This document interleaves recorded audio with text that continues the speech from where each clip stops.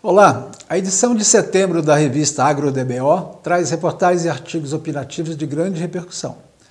A matéria de capa, de autoria de Mariana Pérez, trata da campanha contra o uso de sementes piratas, uma prática antiga, antes tolerada, mas agora não mais.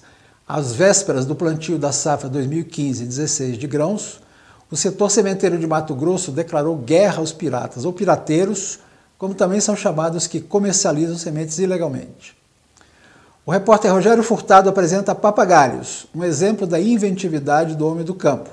A máquina, criada pelo cafeicultor Francisco dos Reis Guimarães Filho, Ico, de Ouro Fino, Minas Gerais, separa os grãos de café da ramagem jogada ao chão durante a colheita. Também chama atenção para a entrevista com o presidente da Microquímica, Roberto Berwanger Batista, sobre nutrição vegetal, e para a proposta de redesenho da paisagem agrícola feita por pesquisadores da Embrapa Milho e Sorgo, a ideia, no caso, é inserir faixas de cultivos alternativos intercalados na lavoura principal para facilitar o controle biológico de pragas. Entre os artigos, destaco o de Amilcar Centeno sobre o uso de drones e o de Fábio Lamônica sobre contribuições ao Fundo Rural.